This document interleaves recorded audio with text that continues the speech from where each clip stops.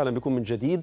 دعت اللجنة لإنقاذ الدولية الخيرية إلى إجلاء 39 لاجئا سوريا بشكل فوري.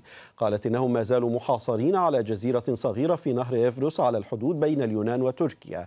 وقالت لجنة الإنقاذ الدولية أنه توجد على الجزيرة طفلة عمرها تسع سنوات في حالة حرجة ولا تحصل على رعاية طبية. وأشارت إلى تقارير إعلامية قالت إن أختها البالغة من العمر خمس سنوات توفيت بعد أن لدغها عقرب وإن اللاجئين حاولوا الوصول إلى البر اليوناني لكن تم إبعادهم من قبل الشرطة اليونانية. من جانبه قال وزير الهجرة اليوناني إن بلاده لم ترصد وجود أي أشخاص على الجزيرة وأضاف أن أثينا نبهت السلطات التركية بشأن هذه القضية. وأوضح موقع Middle East Eye في تقرير له أن الجزيرة تقع على الأراضي اليونانية بالقرب من الحدود التركية ولا يمكن لمنظمات الإغاثة الوصول إليها. وينضم إلينا عبر الإنترنت من إسطنبول السيد فضل عبد الغني رئيس الشبكة السورية لحقوق الإنسان. أحييك سيد فضل. ما حقيقة ما يحدث ل 39 لاجئا سوريا ما بين تركيا واليونان الآن؟ يعني بالحقيقة هاي الحوادث هي حوادث متكررة عم تتكرر كل فترة.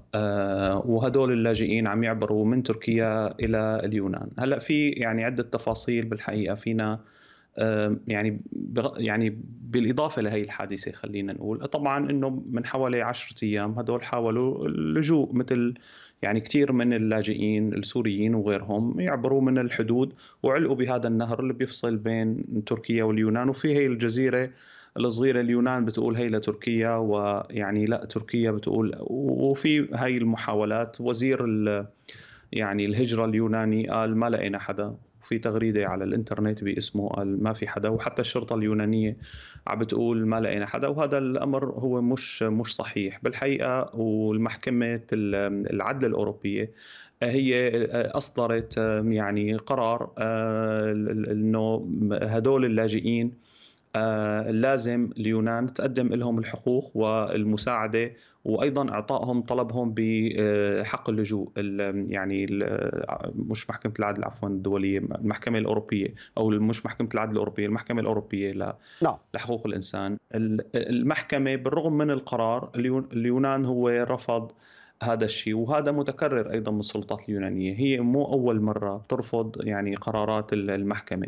اليونان عم يقول أنا متخوف نتيجة الأزمة السياسية مع تركيا إنه آه، يصير في تدفق من اللاجئين بعام 2020 بس أنا حابب أرجع شوي لورا حتى يعني المشاهدين نفهم شو اللي صار. اللي صار حقيقه إنه في بعام 2016 تركيا والدول الأوروبية وقعت اتفاق هو اتفاق ينتهك القانون الدولي بالحقيقة ينتهك حتى اتفاقية اللاجئين. آه، وهذا الاتفاق بنص أنه على إعادة اللاجئين. لهيك نحن عم عم نشوف إنه المنظمات الحقوقية والمحكمة الأوروبية لحقوق الإنسان عم تقول إنه هي إعادة قسرية. بينما إنه هن عم يستندوا على هذا الاتفاق. ويعني كثير منظمات نقدت هذا الاتفاق وقالت إنه اتفاق ينتهك حقوق الإنسان. سيد فضل هم نعم. الآن في هذه اللحظة أنا تابعت جزء من الفيديوهات اللي نشروها حقيقة مسألة في غاية الصعوبة. الناس في العراء وطفلة ماتت بسبب لدغ عقرب وهناك حامل في شهرها الثامن على ما أعتقد. هل هم على أرض يونانية أم أرض تركيا لأن اليونان بتدعي اللي هم على أرض تركيا نعم مثل ما ذكرت إنه هي الجزيرة صغيرة وإنه كل مين عم يحاول يشلف الموضوع حتى لأنه إذا هن عبروا على أرض يونانية فلازم يلتزموا بقرار المحكمة لأنه هن قطعوا الحدود وبالتالي إعادتهم هي إعادة قسرية. وكما تفضلت حضرتك يعني أنا ما أشرت إلى الأوضاع الإنسانية طبعا الفظيعة اللي هن عم يعيشوها. طبعا نوم بالعراء وعم يشربوا آه، المي تبع النهر ما في مياه ولا في غذاء. يعني هذا الأمر معروف. لو أصبح يعني صار لهم فترة نعم عم نحكي من 10 الشهر يعني إلى الآن حوالي ست, ست أو سبعة أيام أو وحتى في بدنا نحسب نحن أيام السفر اللي كانوا قبل إلها. ولهيك قالت المحكمة إنه اليونان لازم تفتح الحدود. يعني حتى إذا هلأ هي وصلونا نفرض إنه هون على الحدود. وهذا اللجوء هو حق. يجب أن تفتح أمامهم الحدود حتى يعبروا آه، وأيضا اليونان هي دولة عبور. وحتى هن ما بدهم يعني يستقروا باليونان لأنه هي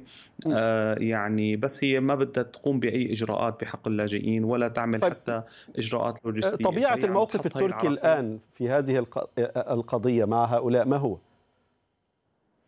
الموقف التركي الآن آه، هو يعني بوفق الاتفاقية اللي أشرت لها واللي توقعت بعام 2016 فهو بده ملزم بأنه يقبل آه، إعادة هؤلاء وأيضا في التزام أنه هو حتى يعرقل نفس الشيء ما يسمح بتدفق اللاجئين. وللأسف مثل ما ذكرت أنه هي الاتفاقية هي تنتهك حق الإنسان بأنه هو يطلب لجوء خاصة إذا كانت الأوضاع هي أوضاع غير مناسبة سواء بسوريا أو بتركيا أو باليونان أو بأي دولة. هو عايش حالة مش مستقرة وهو في اضطهاد بحقه بدولته الأساسية. يعني هو شو اللجوء؟ اللجوء أنه هو عم يتخلى عن جنسية هي الدولة.